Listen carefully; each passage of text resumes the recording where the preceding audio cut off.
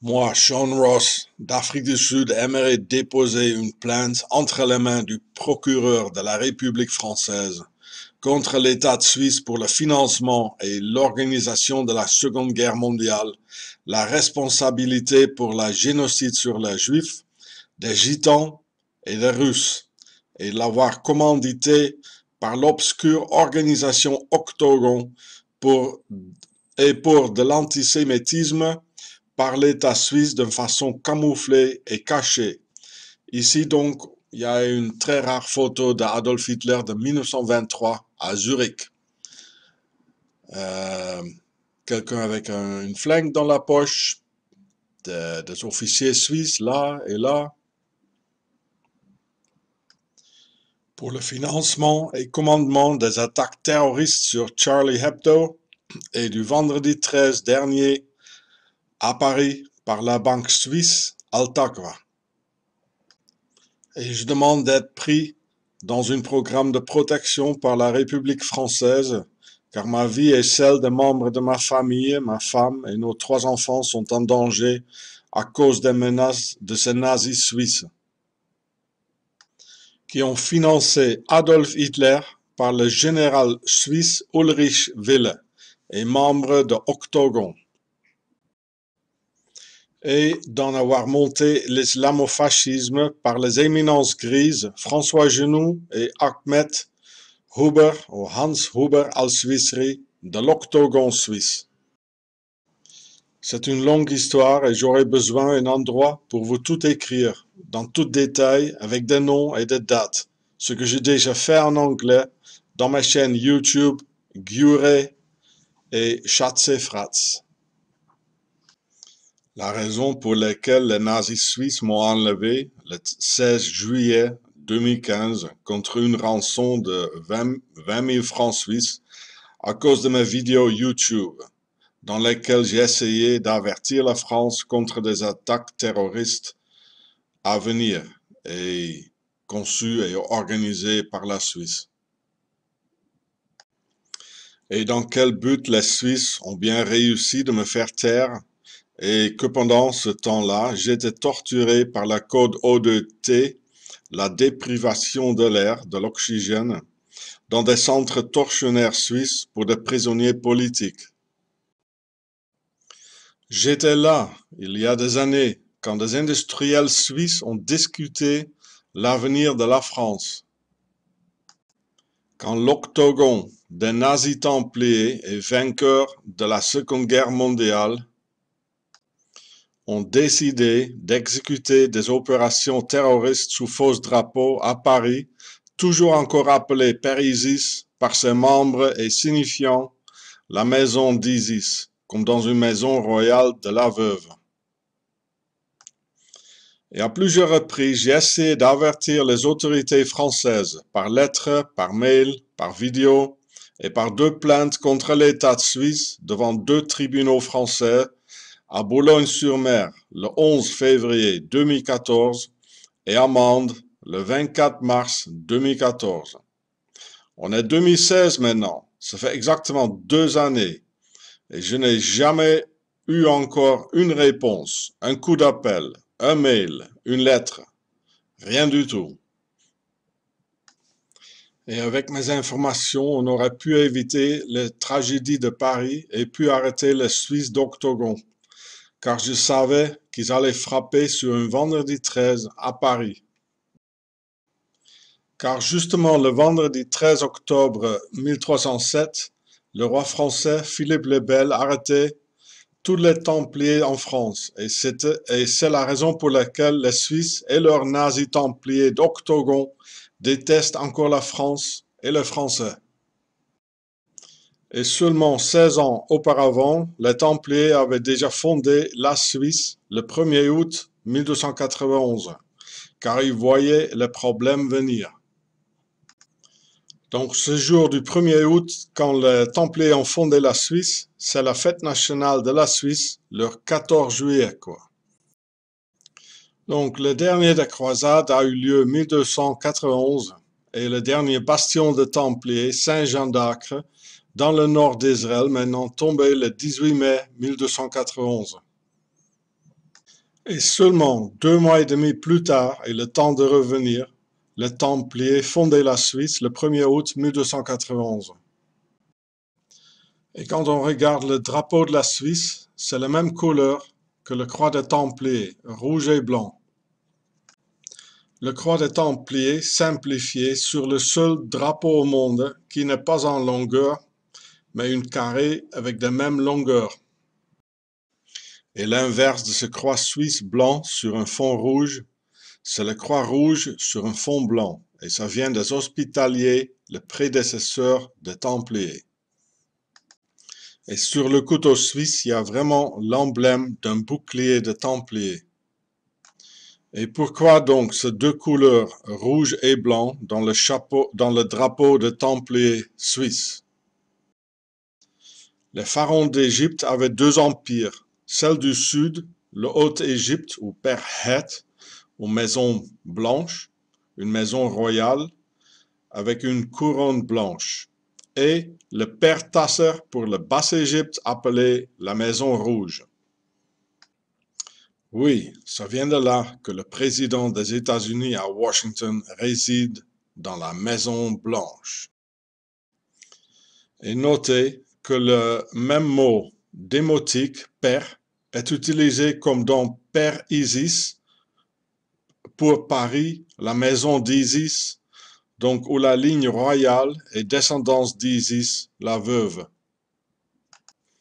Et comme le but des croisades était les pyramides d'Égypte, où les Templiers ont trouvé leur trésor de Templiers, ils ont donné ces deux couleurs rouge et blanc du Royaume-Uni des pharaons à la Suisse, car ces deux royaumes rouge et blanc avaient de la guerre entre eux. à un moment donné, ils ont fait de la paix et fondé un grand royaume uni de Pharaons.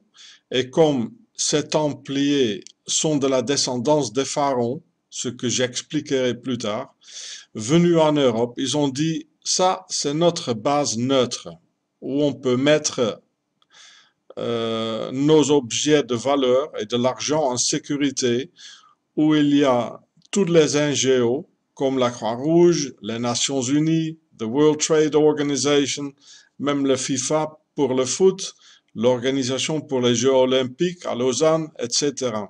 Tous sont là. La Suisse neutre, pas pour le peuple, pas pour nous, mais pour nos maîtres pharaoniques, les seigneurs aristocratiques qui font leurs négociations de paix entre nations en guerre, toujours tenues en Genève. Mais il y avait aussi une troisième couronne, la couronne bleue de la guerre. Et c'est pour ça que les nations qui font de la guerre pour ce pharaon, nos seigneurs, ont ces trois couleurs, bleu, blanc et rouge. Comme la France, l'Angleterre, les États-Unis, les Pays-Bas, rouge et blanc, ancienne couleur du drapeau français symbolisant le Royaume-Uni des pharaons et bleu pour la guerre. Comme les casques bleus du pharaon pour de la guerre, parabellum, comme la couronne bleue du pharaon, et après la négociation de paix à Genève, Royaume-Uni rouge et blanc de pharaon. Les Templiers, en fait, n'étaient pas des moines, mais des aristocrates. Mais comme il y a une loi chez les bourgeois et le pharaon, que seulement le premier fils, il a le droit à tout, le château, le pouvoir, la terre, la concubine, tout, la primogéniture, et un deuxième ou troisième fils n'aurait rien. Absolument rien du tout. C'est pour ça il y avait tellement de conspirations, empoisonnements et poignardements pour la succession au cours dans le château. Mais normalement, la tradition voulait pour ces fils-là de se réfugier dans des monastères. Mais à un moment donné, il y avait tellement beaucoup de descendants sans pouvoir qu'ils se sont dit mais nous aussi, nous sommes des aristocrates et on veut notre propre royaume. Mais pour un royaume, on a besoin de l'argent. Alors pour avoir un appui militaire de ces stupides Européens, ils ont dit que là-bas à Jérusalem vit Jésus avec sa grand-mère et il faut lui sauver des Sarrasins, sinon le Dieu va nous punir avec le feu de l'enfer et ça sera la fin du monde. Pareil que mille ans plus tard, ils ont dit que Saddam Hussein avait des armes à destruction massive. Tout menti, même tactique. En 1099, les croisés commandités par des Templiers ont fait un terrible massacre à Jérusalem aux Juifs et musulmans. Pareil que ce nazi templier suisse l'ont répété pendant l'ère nazie. Le vrai but des croisades, c'était l'Égypte et les trésors de leurs ancêtres dans des pyramides, ce qu'il est devenu le fameux trésor des Templiers, qu'ils ont ramené dans leur royaume dans les Alpes pour fonder des banques suisses avec. Et en effet, les Templiers devenaient les banquiers de l'Europe. Et c'est pour ça, plus tard, que les banques suisses ont collaboré avec des nazis, les nazis templiers. Et quand les templiers d'origine pharaonique venaient en Suisse, ils l'ont appelé Suis, pour sœur d'Isis. Les pharaons d'Égypte ne sont jamais disparus et leur base actuelle est la Suisse, bien centrale au robinet de l'eau et au robinet de l'argent, où on parle quatre langues pour mieux pouvoir agir dans toutes les directions. Et il y a marqué dans la Bible que le pharaon et son armée disparaissent dans la mer. Mais bien sûr, la mer ne s'est pas ouverte. Ça veut dire qu'ils sont disparus dans la mer des peuples et qu'ils sont parmi nous. Et quand ils et elles sont venus en Europe, ils ont partout construit des châteaux forts pour conquérir l'Europe. Et elles et ils sont devenus l'aristocratie avec leur sang bleu, signifiant bleu pour la guerre parce qu'à cause d'eux et elles, on a des guerres sans arrêt dans l'histoire humaine. Vous voyez le pharaon avec son sang bleu, aristocratique, en train de taper sur l'humanité. Il n'y a même pas 100 ans, tout partenait encore à eux. La terre, le pouvoir, et même nos femmes par le ius prime noctis, au droit de cuissage, dans laquelle la première nuit après le mariage, le jeune couple devrait laisser la femme au château, au lit du Seigneur. Et c'est pour ça d'ailleurs qu'on a trouvé la génétique d'ADN des pharaons parmi beaucoup d'Européens. Alors vous pensez, ils sont tous laissés comme ça et ils sont disparus sans trace? Comme il y a eu trop de révolutions, notamment en France et en Russie, la noblesse ont décidé de régner secrètement dans des loges franc-maçonniques. Et tous les politiciens sont francs-maçons et des aristocrates. C'est pour ça que les francs-maçons montrent des objets de leurs ancêtres, les pharaons, comme les obélisques, Yashime Boaz, des pyramides, Isis, la veuve, l'œil tout-voyant, Dorus, etc.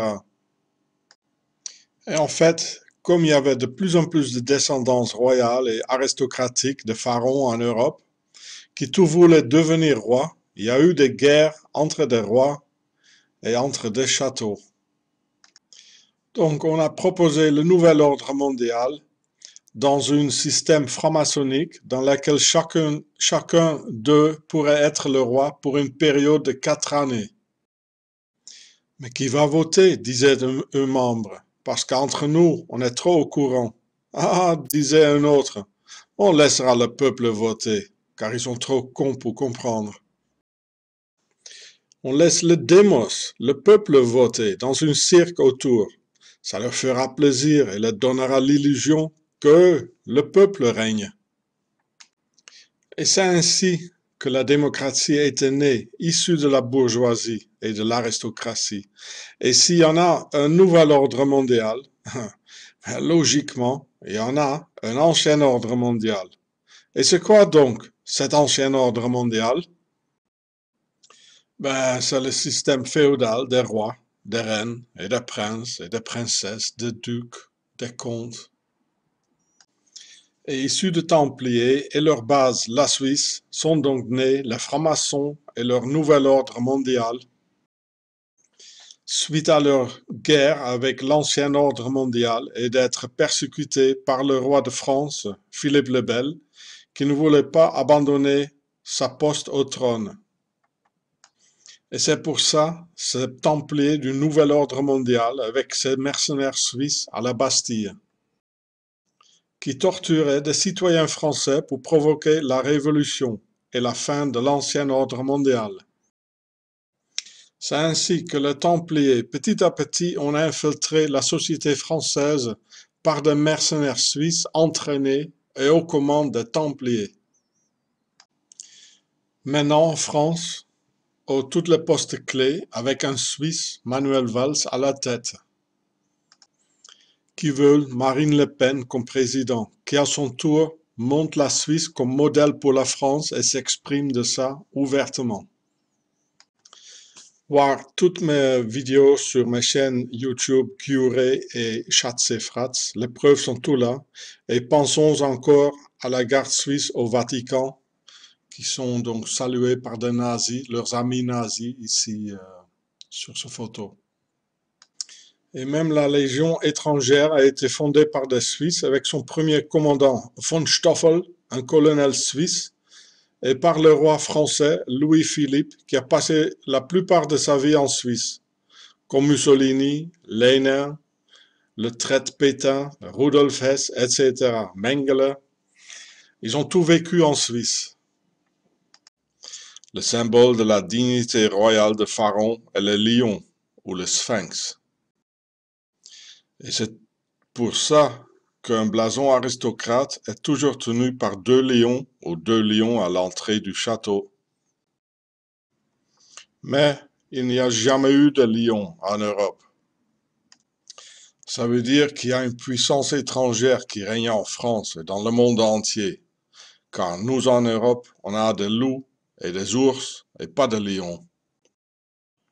Et quand j'ai traduit Ari dans, comme dans aristocratie ou arien, dans le démotique et langue écrite de Pharaon, ça veut dire A, enceinte ou grand, et quand une femme est enceinte, c'est grand, et Ri, c'est le soleil, comme le dieu solaire Ré ou Ra. Donc Ari, ça veut dire enceinte soleil. Qu'ils ont né là-bas, du soleil, ces adorateurs du soleil pharaonique, qu'ils viennent des cieux et ne sont pas d'ici. En plus, quand on regarde la complexité de leurs œuvres, comme la pyramide, leur science et leur façon de dominer l'humanité.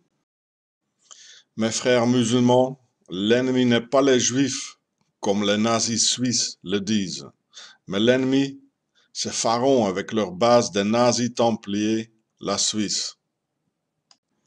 Et c'est Pharaon désigné comme le mal incarné dans le Coran, la Bible et le Torah. Et Pharaon va mettre les musulmans de l'Europe dans des camps de concentration, comme les Suisses l'ont fait avec les Juifs pendant la Seconde Guerre mondiale. Prenons un mec comme Sarkozy, qu'il est juif du côté de sa mère André Mallat de la Grèce. Mais il est aussi aristocrate et d'une lignée des rois hongrois. Et c'est pour ça qu'il a cette syllabe Sar dans son nom. C'est une abréviation pour Son Altesse Royale, Sar. Et ça veut dire le roi dans la langue de Pharaon, comme dans une sarcophage. C'est une boîte pour foutre le roi dedans quand il est mort. Ou comme César, le roi de Rome, Nebuchadnezzar, le roi de Babylone, les tsars de la Russie, la famille Windsor de l'Angleterre. Et Sarkozy, le roi de France, pour sept ou cinq années. Alors il est quoi ce Sarko? Est-ce qu'il est juif ou est-ce qu'il est un aristocrate? C'est pareil de demander le prince Charles s'il est, un prince ou un anglais. Mais il ne va pas te dire, mais il pensera qu'il est aristocrate et d'être l'anglais. Bon, c'est lointain et un truc du peuple. C'est pareil pour ce monsieur Sarko. Il est d'abord aristocrate et long, longtemps après, un juif. Et encore long, longtemps après ça, il est français sans aucune goutte de sang français. Et cette classe élitaire-là, mais sans exception leur poignon et leur évasion fiscale dans leur base neutre, rouge et blanc de cet royaume uni de pharaons, la Suisse. Comme il y a 80 milliards d'euros français qui finissent annuellement en Suisse. Parce que la bourgeoisie aristocratique n'ont jamais dans l'histoire encore payé des impôts. Mais ce sont eux qui ont inventé des impôts et parasité sur le peuple affamé. Tandis qu'ils ont fait la fête au château avec nos femmes et nos proviants taxés. Et tout ça perdure de nos jours, rendu possible par leur base de l'élite financière mondiale dans les Alpes. Et quand le mois d'octobre 2010, le jeune Autrichien Wolfgang Umvogel a voulu vendre des CD bancaires avec des dates, des noms et des chiffres concernant l'évasion fiscale en Suisse, à l'Allemagne, à la France et à l'IRS américain, le service secret suisse d'Octogon l'ont chopé et l'ont suicidé en deux semaines seulement dans un centre tortionnaire pour immigrants à Amthaus, Berne. Alors moi, Sean Ross, contactais le journal le plus grand en Autriche, le Kronenzeitung, et l'ont aidé à écrire un article. Et ils ont publié que le jeune homme était été suicidé et torturé par code O2T déprivation de l'oxygène.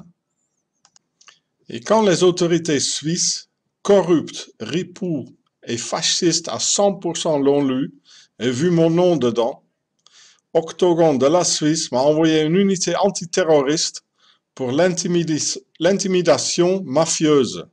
L'arrestation a été publiée dans le journal Blick que j'ai filmé ici dans ma chaîne YouTube. Après encore, j'ai reçu des menaces de mort par des policiers suisses qui m'ont frappé, arrêté sans arrêt et qui ont menti de choses ensemble pour me faire criminaliser et de me faire taire. Et j'ai des témoins de tout ça. Finalement, on m'a interdit d'en parler de la terreur suisse sur YouTube. Donc la justice suisse m'a interdit d'en parler. Ce que j'ai refusé, car ce que je publie, c'est la vérité et on peut voir sur YouTube comment les ripoux suisses me frappent. Et tout est publié sous les lois américaines, loin de la juridiction suisse.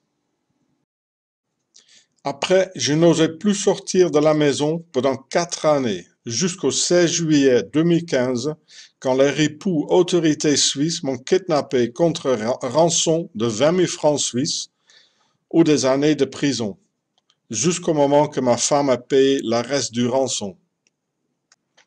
Pour tous ces crimes organisés suisses contre moi et ma famille, crimes contre la France, crimes contre l'humanité et ces crimes contre le peuple juif par le Shoah, organisés par ces Suisses, je veux porter plainte.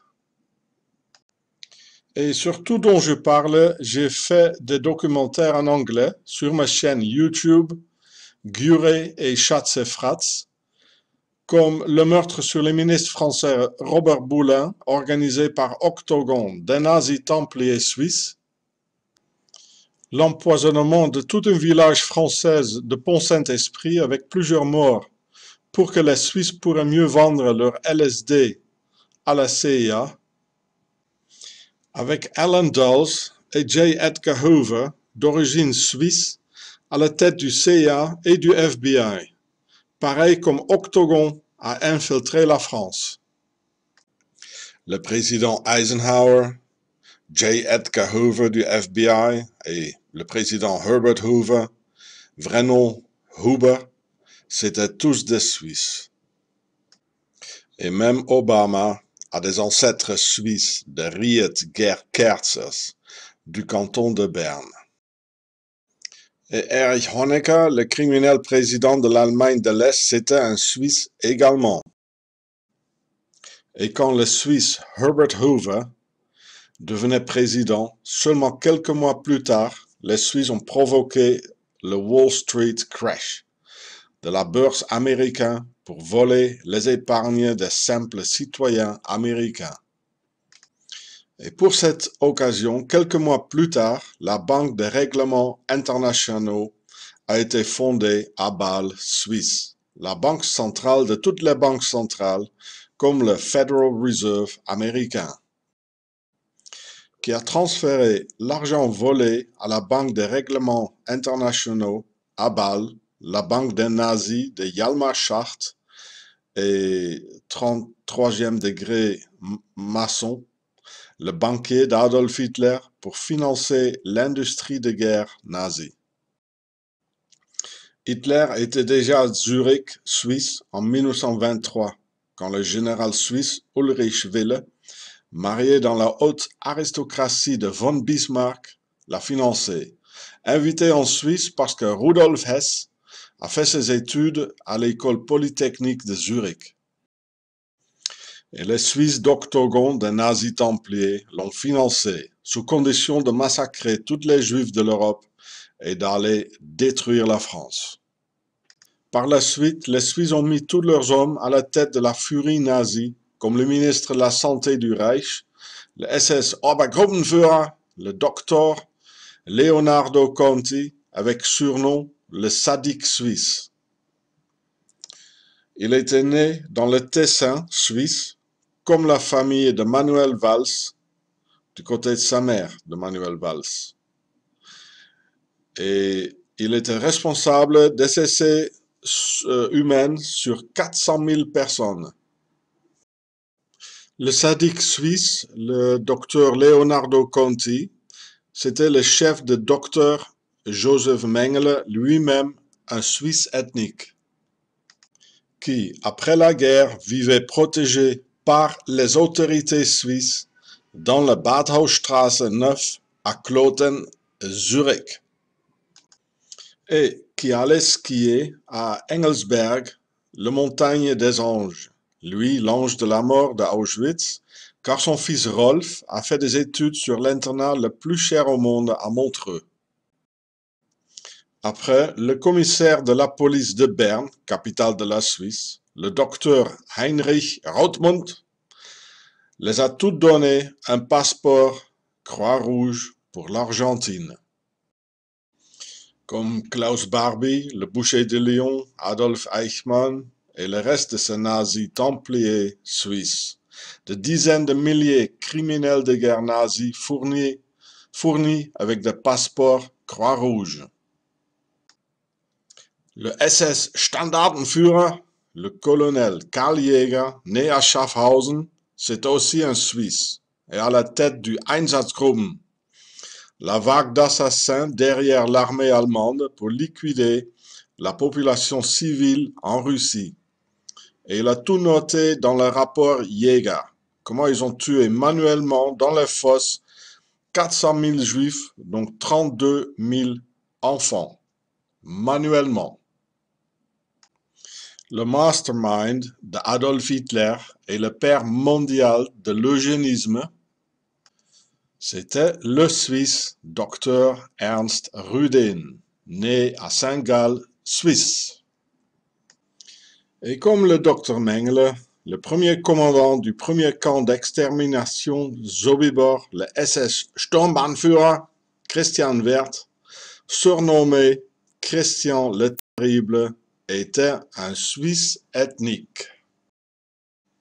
Pareil comme Rudolf Höss, le commandant d'Auschwitz, aussi un Suisse ethnique.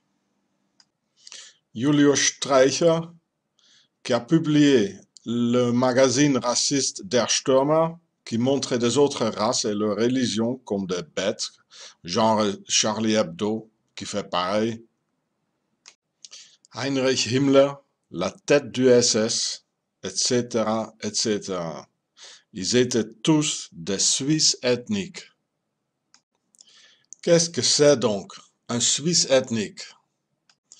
Pendant la guerre de 30 ans, entre 1618 jusqu'à 1648, environ 100 000 mercenaires suisses, sous commande des Templiers, ont fait un vrai génocide au peuple allemand en tuant 20 millions d'Allemands et leurs enfants, correspondant à deux tiers de la population allemande, de villes entières disparaissent de la terre, et ces mercenaires suisses ont dit à leurs compatriotes dans la patrie, bah, ça y est, c'est libre, vous pouvez vous, y installer. Donc, dans le sud de l'Allemagne, le Baden-Württemberg et une grande partie de la Bavière, le Vorarlberg en Autriche et l'Alsace en France. Ce sont des Suisses ethniques qui ont remplacé la population autochtone d'origine qui parle le dialecte alémanique comme en Suisse.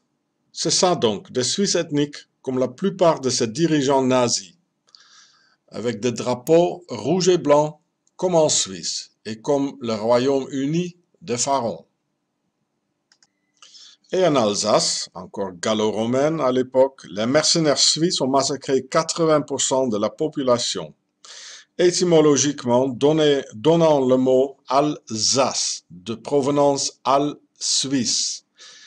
Et les Alsuiciens, qui sont tous suisses, quoi, et qui n'aiment ni le français, ni les Allemands, parce qu'ils sont suisses, avec des mêmes affiches euh, racistes comme euh, en Suisse, exactement la même chose. Et ils sont très organisés avec la Suisse.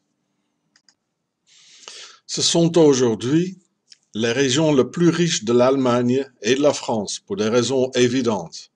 Et en 2014, et c'est paru dans des grands journaux internationaux, que la Suisse veut construire un grand empire actuellement avec l'Alsace, comme on voit sur le dessin ici. Le sud de l'Allemagne, l'ouest de l'Autriche et le nord de l'Italie, pour répatrier dans le Reich toutes les Suisses ethniques. Ça a toujours fonctionné à travers l'histoire comme une zone tampon autour de la Suisse pour mieux protéger la mère patrie, base centrale. Le Shoah et la Seconde Guerre mondiale étaient donc à 100% organisés et exécutés par les Suisses. Et moi aussi, j'ai perdu mon grand-père en 1942, qui était officier dans la marine anglaise.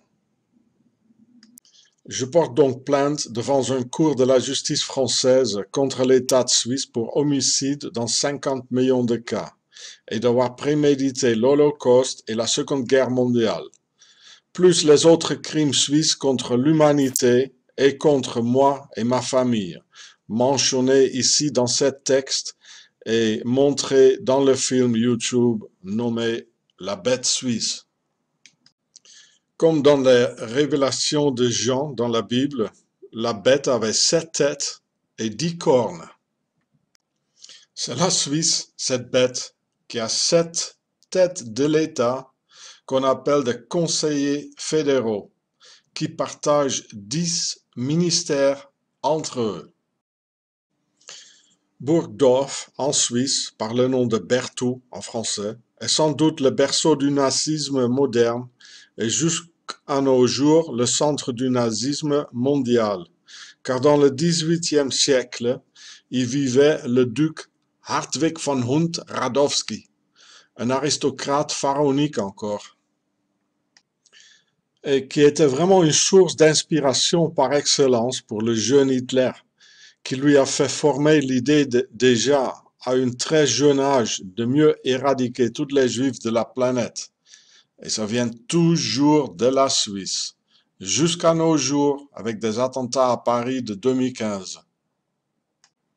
Et quand la mafia fasciste de la Suisse m'a eu en otage contre rançon de 20 000 francs suisses en 2015, à cause de mes vidéos, mes documentaires historiques comme Auschwitz Made in Switzerland et, autres, sur la responsabilité suisse pour le Shoah, l'Octogon m'ont gardé en otage dans le centre tortionnaire de Burgdorf et également le berceau du nazisme moderne. Euh, du euh, duc euh, Hartwig von Hund-Radowski. Quand dans la cellule à côté de moi, il y avait un néo-nazi de Burgdorf, Suisse, même, condamné à une légère peine de quelques mois seulement pour en avoir fait des attentats aux explosifs sur des centres de réfugiés. tandis qu'il y avait des immigrants avec de lourdes peines de plusieurs années pour en avoir fait rien du tout. Le néo-nazi suisse était complètement tatoué avec des paroles comme « six millions n'est pas assez », donc je savais, il avait sûrement lu les œuvres du baron de Burgdorf. Et sur son visage, il avait une énorme swastika croix gammée tatouée. Et je vois encore cette grande croix gammée sur son visage se déformer sous la grimace qu'il faisait quand je lui ai dit que maintenant, avec tous tes, tatouages, t'es vraiment un homme de couleur. Et comme les Suisses sont froids comme des reptiliens, je ne sais même plus encore s'il a vraiment apprécié ma sens d'humour britannique ou plutôt pas. Il y avait également des gardiens avec des lettres style nazi dans la nuque et il était le détenu favori des gardiens, qui était toujours de bonne heure avec sourire comme de vieux copains envers lui, tandis qu'envers nous, les immigrants, c'était la suisse dans ce centre nazi de Burgdorf. Il faut différencier deux types de nazisme, le nazisme des pauvres et le nazisme des riches. Le nazisme des pauvres est très visible et très bruyant, avec la main droite montant, crâne rasé, tatoué, exprimant leur haine à tout instant, primaire, pas trop doté de l'intelligent en disant supérieur, et issu de milieu ouvrière forcé de vivre avec des immigrants comme voisins moins désirés. Ce modèle est plutôt rare en Suisse, le pays par définition du nazisme des riches. Des banquiers et des industriels agissant dans le secret, invisible, silencieux et très organisé. Et c'est toujours le nazisme des riches et des millionnaires qui essaie de mobiliser le nazisme des pauvres, et pas d'inverse. C'est le genre Le Pen en France, milliardaire, avocat, et véritablement et visible dans mes vidéos avec le drapeau suisse dans leurs mains. Et qui essaie de mobiliser le nazisme des pauvres pour leur but obscur, traditionnellement plutôt occupé de s'enrichir plus à travers une guerre, et par la suite de la planquer en Suisse leur base de l'octogon. Ce que les nazis ont fait, en fait, pendant la Seconde Guerre mondiale. Et les nazis ont gagné la guerre comme ça, au contraire des Allemands qui l'ont perdue. Et à la fin de la guerre, il y avait à la Maison Rouge, à Place Kléber, Strasbourg, un agent du DST, ou son prédécesseur, présent, qui a témoigné d'Octogon. Mais il ne comprenait pas, comme moi, le pourquoi en fait de ce nom Octogon. Ben, quand on tire une ligne autour d'une croix de Templier, ou la croix suisse, pareil, on aura une forme octogonale. Et en étant historien, comme je le suis, ou archéologue, on le sait que les Templiers presque toujours ont construit leurs temples et châteaux forts dans une forme octogonale. Et évidemment, issu des mêmes raisons, le nid d'aigle de Hitler et le fureur des nazis templiers est construit dans une forme octogonale. Et c'est pour ça le nazisme des riches suisses a condamné le jeune tatoué nazi des pauvres à une très légère peine, car il pourrait encore prouver ses qualités discutables très utiles dans un projet à venir. Et jusqu'à ce jour-là, il sera encore enfermé pour un très court délai, enfermé avec ses, ses immigrants, qu'il aime si tant pour en disant faire augmenter ses qualités serviables au nazisme des riches, qui sont centrés en octogone dans les Alpes et l'exemple préféré de Marine Le Pen, aussi bien sûr du nazisme des riches. C'est pour ça qu'il y aura, encore des attentats terroristes sous fausse drapeau environ deux semaines avant les élections présidentielles en France, pour bien manipuler l'opinion publique vers Le Pen pour président, comme les attentats du vendredi 13 2015, juste avant les élections, comme par hasard. Et on n'a vu ni un corps de ces en disant assaillants arabes. Au lieu de ça, il y en a de sérieux témoignages dans des très grands journaux anglophones, comme ici dans le Mirror anglais du 14 novembre 2015, qui ont vu des hommes blancs aux yeux bleus, très costauds et musclés, genre militaire. C'est la raison pour laquelle à Paris, il n'y a que des gens de gauche étaient pris comme cible. Charlie Hebdo, un concert de rock au Bataclan pour des jeunes de gauche avec des cheveux longs, et le foot encore une chose du peuple. Aucune cible de droite a été visée, ni les autorités et ni le McDo, juste à côté de ces cibles du vendredi 13 à Paris. C'est clair que la droite et ses nazis templiers d'octogone suisse qui étaient derrière. Moi, je sais que c'était Octogon, parce que j'étais là quand l'avenir de la France a été discuté par l'Octogon suisse, et je peux fournir des noms. On peut déjà logiquement dédier par le fait des informations là qu'on ne peut pas savoir tout cela sans être initié. Et c'est pour ça en Suisse, j'ai passé cinq ans et demi en détention comme prisonnier politique pour m'avoir exprimé sur des choses que la loi de silence suisse ne, ne permettent pas. Et dans ce pays, dans les Alpes, il y a une très longue tradition de la haine, du racisme et de l'antisémitisme envers tout le monde qui n'est pas suisse et ne correspond pas au modèle conçu. Et donc, au même moment que le duc Hartwig von Hund-Radowski de Burgdorf, Suisse, et centre du nazisme dur, a publié cette thèse antisémite au XVIIIe siècle et lue par Hitler et le reste de ce nazis, l'État de Suisse, en 1776, a ordonné par décret que les Juifs de Suisse devraient tous être enfermés dans le petit village de Endingen et Lengnau au nord, au nord de la Suisse, près de la frontière allemande, en espérant qu'ils allaient tout foutre le camp vers l'Allemagne, hmm, ce qu'ils ont fait en effet. Et quelques années plus tard, il n'y avait plus aucun juif en Suisse. Ils étaient tout partis et chassés de la Suisse, pareil comme les Suisses, avec leur terreur envers des autres, ont fait avec moi, mais non.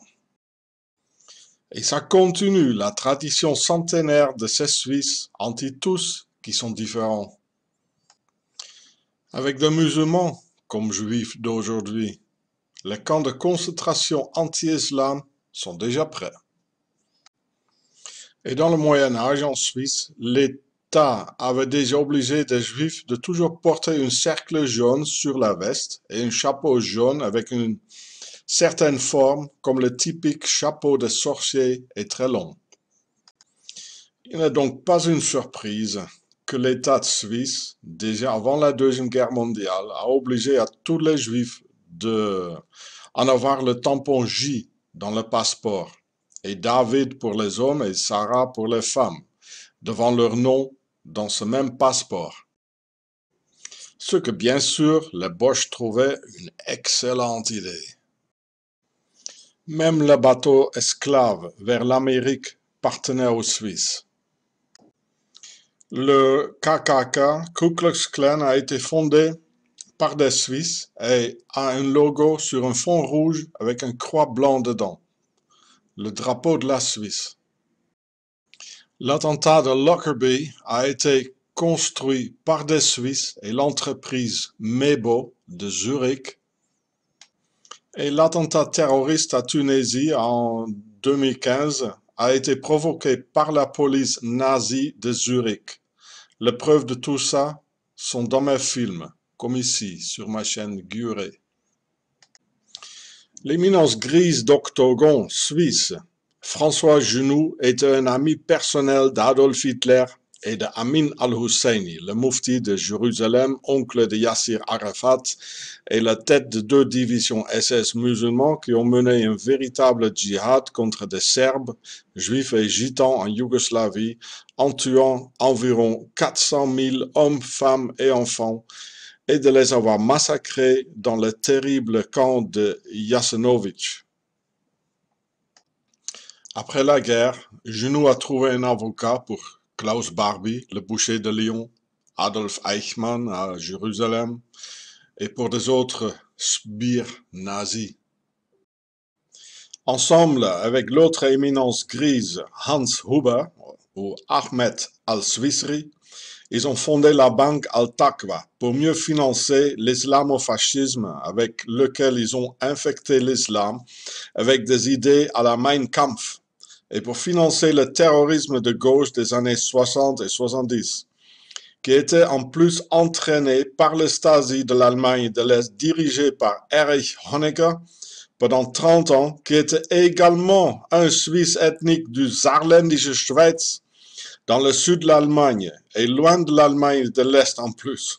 En 2001, ce Hans Huber Ahmed euh, al-Swisri L'autre éminence grise d'Octogon s'est forcé à deux reprises dans notre maison, qui était juste à quelques kilomètres de là où il habitait, pour nous faire de menaces.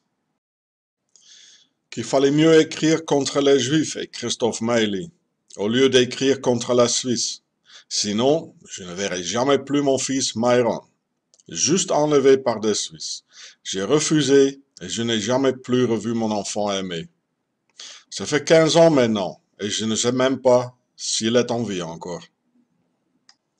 Je sais par avance que cette plainte ne servira à rien, comme les autres deux plaintes auparavant, car l'octogon des Suisses est partout au pouvoir, par l'étoile maçonnique mondiale, qui reçoit leurs ordres par les Templiers d'Octogon dans les Alpes. Il y en a de véritables lois de silence envers cette base maudite qui sera toujours protégée par des médias, des armées internationales, bref, par le pouvoir absolu. Les Suisses sont des criminels organisés avec un pays. Es fecit cui prodest, à qui profitent donc les attentats terroristes en France? Réponse, la Suisse car ça déstabilise la communauté européenne détestée par les Suisses. Les immigrants et musulmans mal visés le doigt, les frontières vers la Suisse fermées et la libre passage en Europe fini. Tout ça dans l'intérêt des nazis suisses de ce pays régné par l'extrême droite.